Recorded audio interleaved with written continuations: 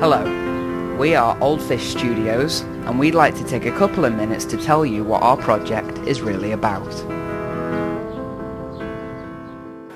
Our project is called Three Minute Matters, and we make short films about what really matters to kids, such as sports. We can show how important it is for kids to keep fit, healthy and active.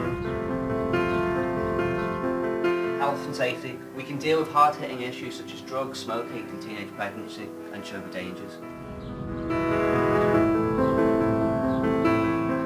education.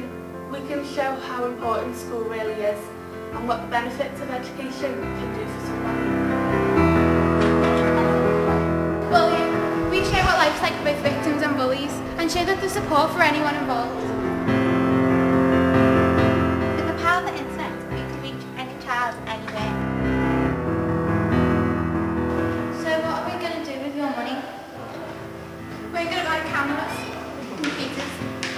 Microphones. Training courses.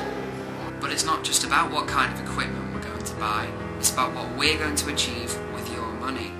We can help kids, we can give them support, we can make them aware of things which are going on in the world today. So you need to ask yourself a question.